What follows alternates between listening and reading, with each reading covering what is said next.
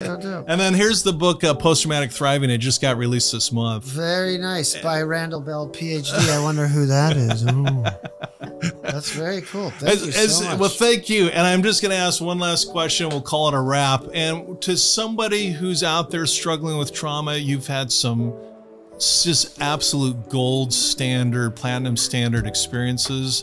What's your final word to people that are, you know, back in when you were in your 20s or teens, you know, just going through something? What what what what's your final bit of advice to to these folks? Yeah, I would just say you're not alone.